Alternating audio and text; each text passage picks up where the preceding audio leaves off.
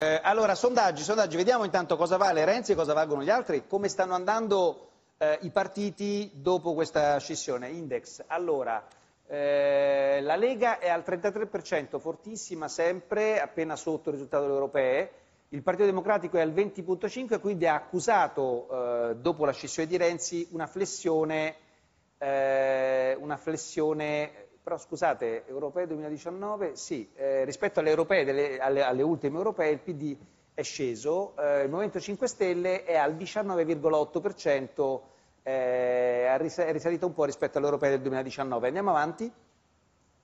Fratelli d'Italia al 7%, Forza Italia al 6%, quindi secondo Index il eh, sorpasso ormai netto, il partito di Renzi Italia Viva viene dato da Index al 3,5%, grosso modo quello... Che tutto sto popolo non ci sta, diciamo. Però ha appena cominciato, eh. bisogna vedere quali sono le iniziative politiche, 5, insomma, ecco. no?